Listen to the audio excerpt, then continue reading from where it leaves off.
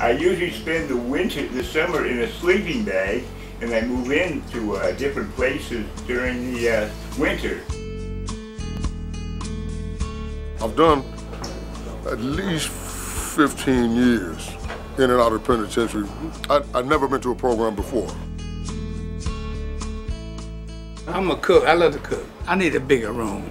That's what I'm saying. We've always known that given opportunity to do something good instead of something bad, a lot of the smart folks will take that opportunity, but we had to prove it. And for over 25 years, we've had men and women doing positive things.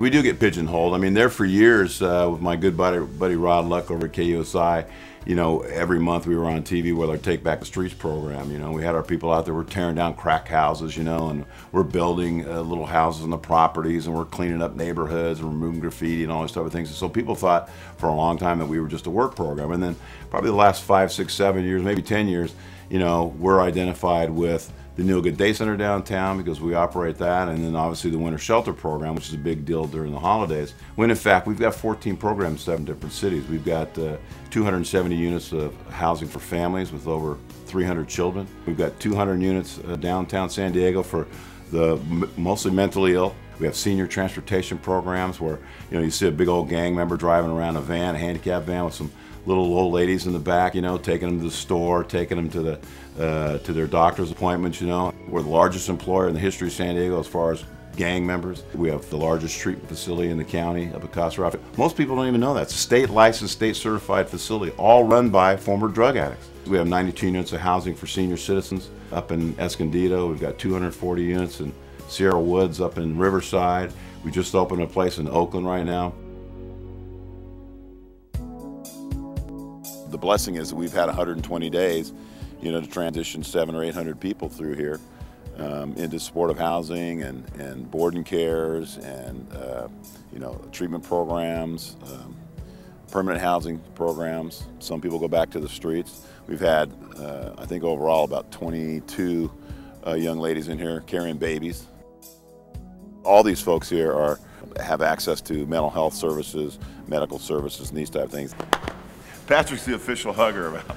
I love to hug. I love to hug. Hugs, not thugs. Back in the, he was out there 15. He was a 15 years. 12 years. 12 years. You know where the Midway is? I had a million dollar view and I didn't have to pay for it. One of his camp buddies brought him in, and he literally slept for like a couple of weeks. Yeah. And nursed him back to health over a few months.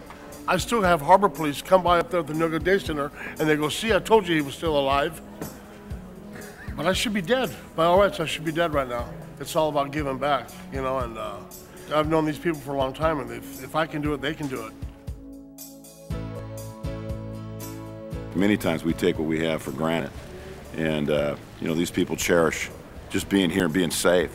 People live 18 inches apart from each other on a three by seven foot cot. All their belongings are on those beds. And, uh, you know, that's all they have in the world and they appreciate it and they're thankful for it.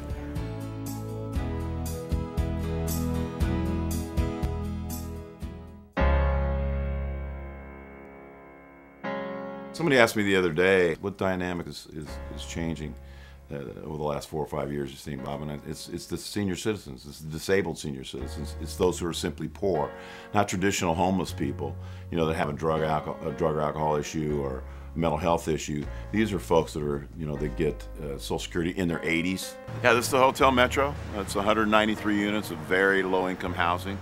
Um, we'll tra we transition about 40 or 50 people from the winter shelter here every year. It's the last of the traditional SROs, single, single room occupancy apartments, which are about the size. I think they're eight by six foot by eight foot. Most people's bathrooms are bigger than these. These are the poorest of the poor. This, this is the cheapest, the lowest rent um, SRO or housing unit in downtown San Diego. It's a step up from the shelter, obviously, because you have independence and you have privacy and these type of things, except when you have to go to the bathroom because the bathrooms are all down the hall. But you know, the, the folks that, that, that come through our programs, come up off the streets, come out of our treatment facilities, deserve better. You know, and the well, here's the key right here. The key to it is if you have your own key, you're not homeless anymore. And then gratitude, I'm grateful for this place right here. You know, I used to be on the curb, now I'm four floors above it. You know, it's all about gratitude. And you got your own key. Come in and go as you please. Yep. I need a bigger room. That's what I'm saying. I love it here though. You got good staff, good staff people here. I'm trying to get a bigger room so I can cook more. I'm a cook. I love to cook. I'm an ex-Marine. If you live here, you can't give respect to get respect. My name is Paul Brown, okay? And I'm 75 years old. I tried to remember this place from years ago, and I walked down a block, and there it was, you know, uh, $446 a month. Uh, a month or so ago, they let me know that my rent was going to be dropped to $330 because I qualified. And I thought that was just great. You can't beat the rent here, okay? Uh, believe me, you can't. And people are pretty nice. Many of those folks transition out of the winter shelter program are trapped in some form of mental illness. And if they live there in peace and dignity, next to the, the brand new sparkling places that have gentrified into the East Village now, new condos and stuff, and they live with respect for each other and the neighborhood in which they live in.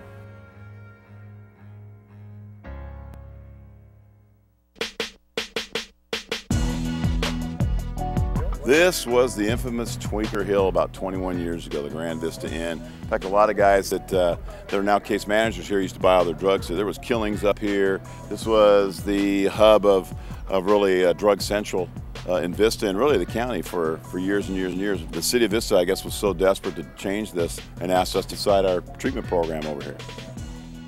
It's a tough program. These guys start their morning at 4 o'clock in the morning. Uh, they go out and uh, hawk newspapers for six hours till 11 o'clock. They come back in, they have lunch, and then they start their day. Framer for recovery, journaling, NA programs, on-site, off-site, until about 9.30 at night. It's six days a week uh, for about uh, six or eight months, 10 months. Some people take longer. But whatever, we build a custom-made plan for each uh, man uh, that's here, a case management plan, and make sure they're successful.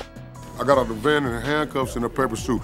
First time I stepped foot on ground, but they keep telling me that I was not locked up. Just because you're free, that you're still not locked up up here. You know what I'm saying? Because I have been a lot of years. And I hurt and I ached, I pained, but I stayed here. Today I have some tools in my toolbox. You know what I'm saying? From Casa. You know, I know how to befriend someone. I know how to, to, to aid and assist someone. I know I'm blessed because I fell here, Casa Rafael.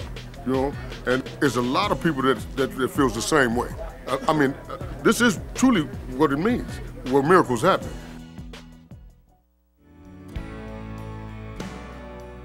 Our goal was always to buy this facility because, you know, one of our, the hardest obstacles that our graduates have is finding a you know, sober place to live. And there aren't very many places like that. And, you know, obviously to have one right across the parking lot would just be a dream. Divine intervention, I guess, that we ended up buying the facility. So we've got about 60% full of our grads now. Definitely beneficial for, for Casa Rafael graduates who uh, complete the program across the way just to be able to be so close to access the support system that we can provide for them. They also go into aftercare, which is a six-month program after they graduate. They continue to come around, give back to the guys who are still in the program.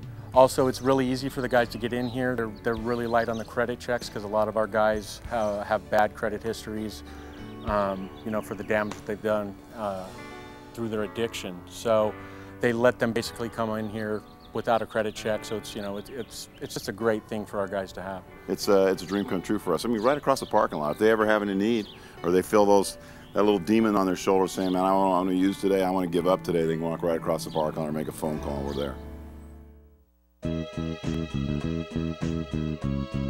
We've always given opportunities to gang members slash convicts slash drug addicts.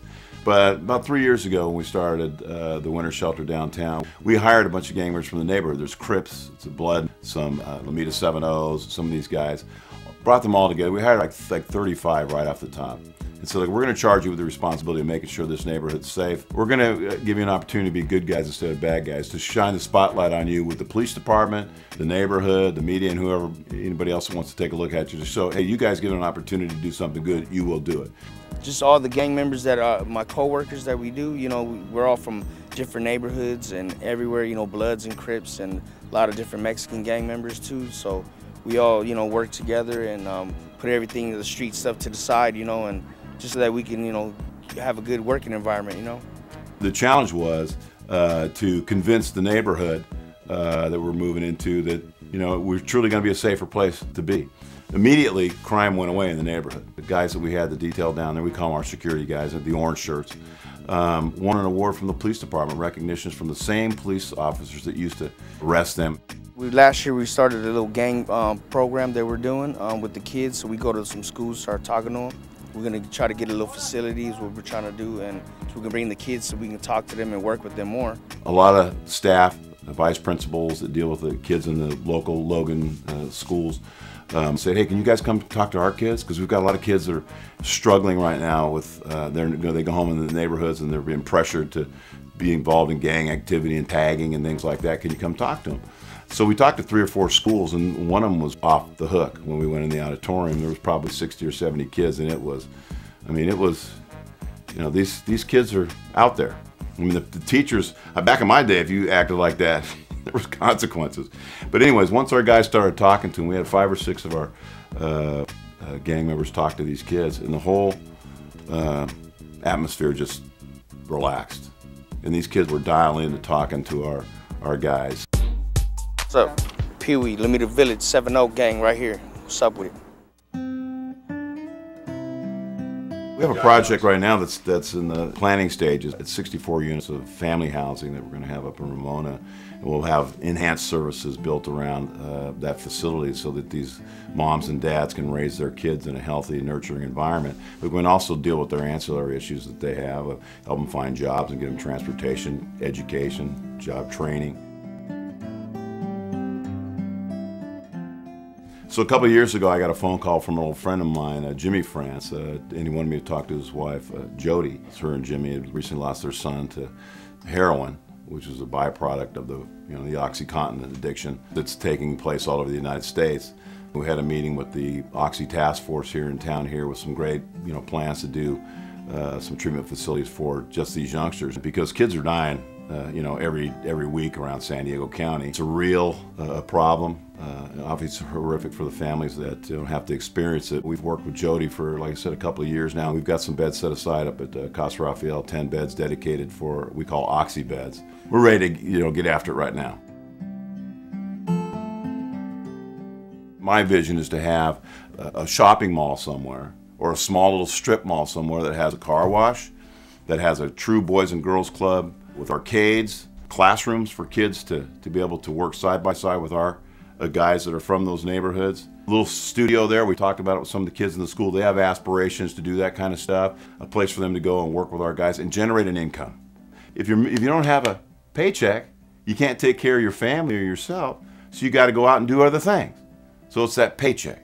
So we want to have our own businesses so we can generate income to pay our people to do good things. And we're not looking for the government to pay for it. We're not looking for, you know, taxpayers to pay for anything like that. Something we can get off the ground that they can generate their own income and their own opportunities and expand on that. We had a major hope that was just dashed here recently. As I said, the Metro, we have 200 units for of supportive housing for the mentally ill downtown. These are very, very, very low income people. And I got to tell them about a year and a half ago that we were actually going to build a new Metro with in-room bathrooms, little studio type apartments with retail on the ground, with a communal kitchen for everybody, you know, make meals for them and stuff. And then I had to go back and tell them about six months ago that that wasn't going to happen. We were scheduled to build a new Metro um, with redevelopment dollars. We've been working five years with CCDC to do that. We actually secured the lot up the street and Market in uh, between 13th and 14th to build 230 new units for our folks who have lived here. Some of these folks have been here 15, 16, 17 years, waiting, you know, for something better. But we all know what happened. The redevelopment dollars, uh, you know, were taken by the state, and now we're in kind of in a bind. I mean, the building physically can't, you know, stand much longer. My dream was for a long time to have those 230 units of new housing for these folks who deserve it.